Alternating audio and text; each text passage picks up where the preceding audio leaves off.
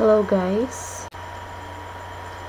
Ang ating lesson ngayon is again, transportation cost pero mag-focus tayo dun sa iba't ibang uh, freight terms.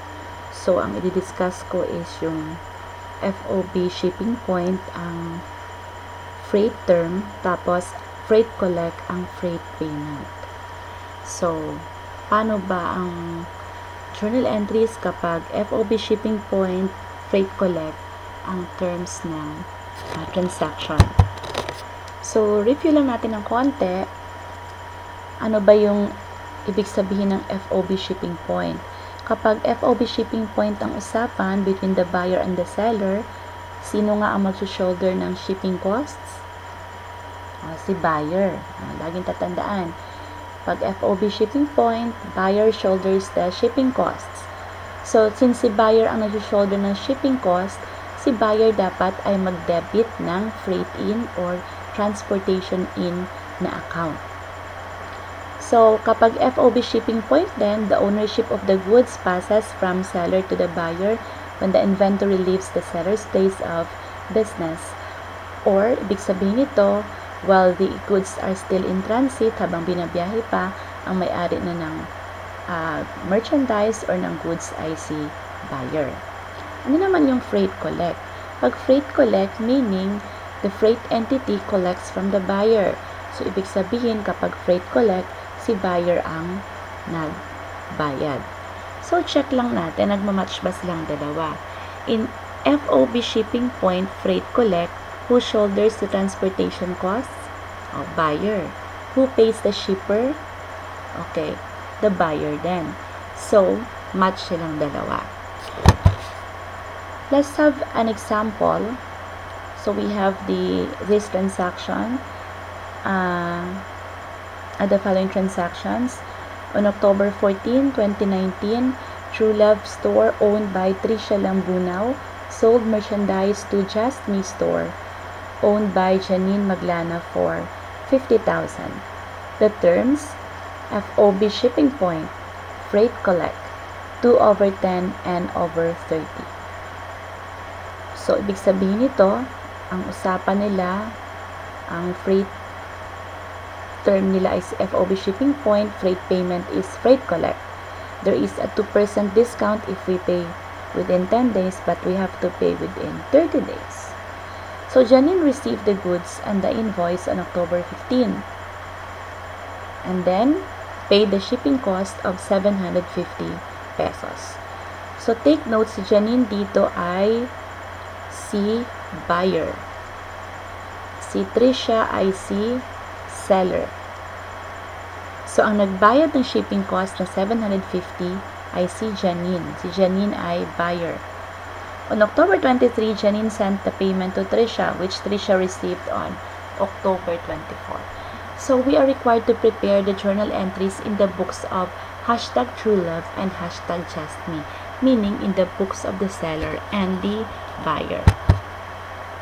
So yun nasa left side, yung uh, naka-violet, yan ay sa seller, yun nasa right side, or naka-orange, yan ay si buyer. So, yung transaction natin, October 14, 2019, hashtag True Love Store owned by Trisha Lambunao sold merchandise to hashtag Just Me Store owned by Janine Maglana for 50,000 pesos. So, balikan lang natin. Yung terms natin dito is FOB uh, shipping point. Yung terms natin ay FOB shipping point, freight collect. So, ano nga ulit, kapag FOB shipping point, freight collect, sino nga ulit ang in-charge sa transportation cost? Si buyer. So, ano ang entry nung nagbenta si Trisha? Ang entry nung October 14 sa kay hashtag TrueLove is debit accounts receivable kasi utang ito, 50,000. Credit sales, 50,000. Check naman natin sa right side banda, sa books ni buyer, paano entry natin? O bumili si Janine, o si hashtag just me, so debit tayo ng purchases, 50,000, credit tayo ng accounts, payable, 50,000.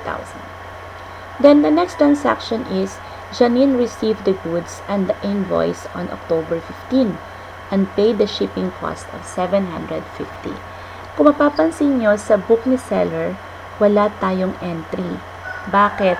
Kasi wala naman talaga nangyaring transaction sa kay seller.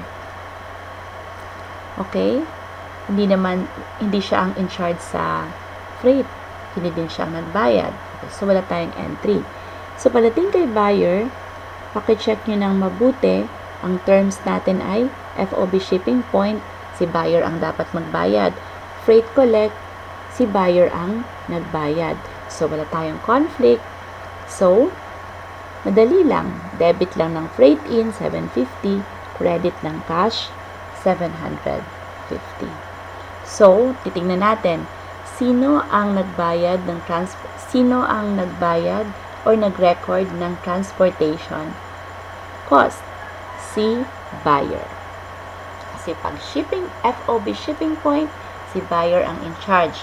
Freight collect, si buyer ang nagbayad. Now, on October 23, Janine sent the payment to Trisha, which Trisha received on October 24. So, tingnan natin paano ang entry. Sa kay seller tayo, October 24 niya na-receive. So, record niya ng October 24.